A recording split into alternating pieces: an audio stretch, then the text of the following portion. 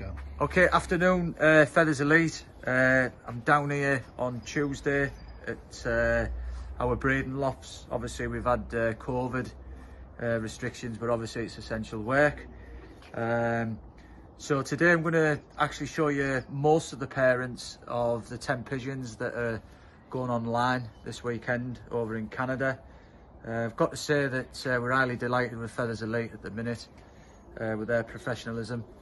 Um, so, the first pigeon in my hand, uh, this is the sire of lot one, and this is the famous expensive Kittel.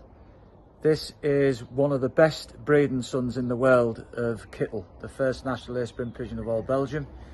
Um, this cock um, has bred 73 firsts um, in four to five generations now for P&D Racing and Breeding Stud. Um, he's the sire of Expensive Lad that's bred 24 firsts uh, for Blackett and Rennick in the Up North Combine that I'm sure some of the Canadian and the American fanciers will know about. Um, also, he's the father of Mega Kittel. He's the father of Blue Return Kittel. Blue Return Kittel is the mother of Lot 1, so Lot 1 is uniquely inbred to expensive Kittel and Kittel.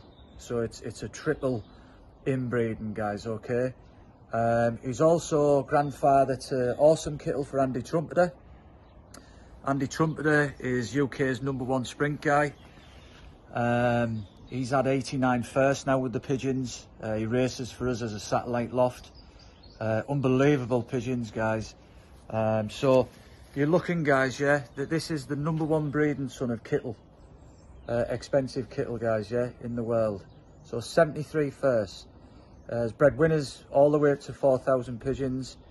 Um, he's bred a 12 for 13th uh, national in the Up North Combine.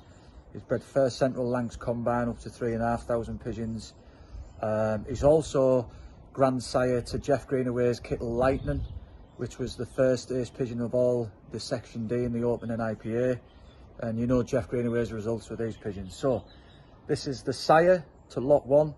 This is the famous expensive Kittel. Thank you very much.